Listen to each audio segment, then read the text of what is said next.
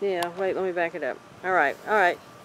All right, the Bible says that uh, when uh, Noah was doing his ark deal, that the uh, water from the uh, ground burst open. It was from underground. It says it had had flood water from below the ground, flood water from above the ground. So I thought I'd look at the idea of bursting water. The Bible says from the ground. So we're going to use this balloon and see if we can burst it, get an idea of what it might have happened on on land.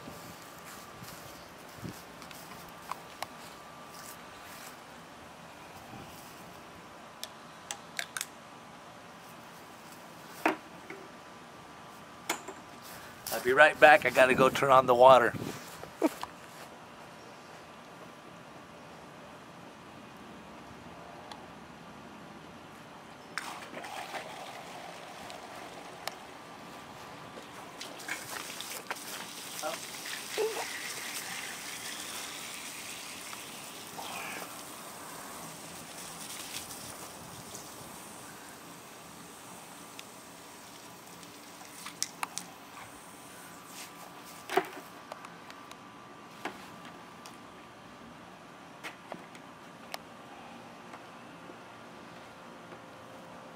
So I'm guessing this is like water building up under the dirt. Oh!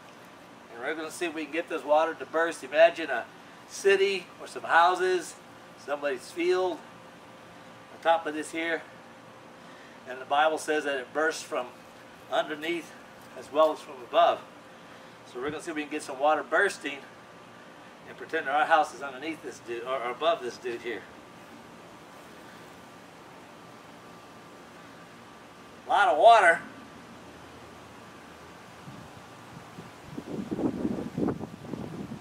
Gonna be a big burst.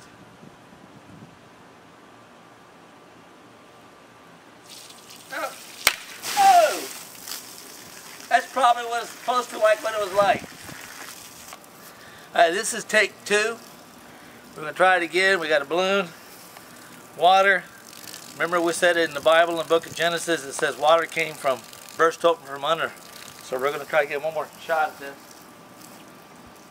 This is the effects of our last landmass.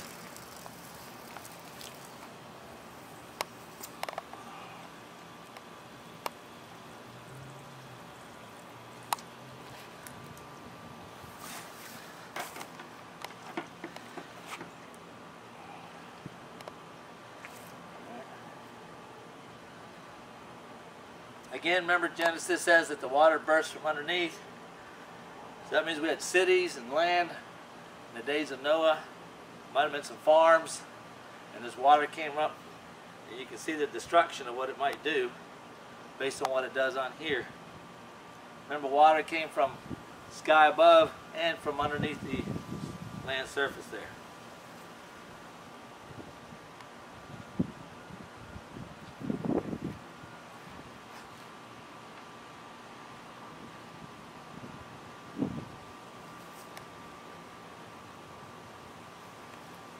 Getting pretty big. Oh!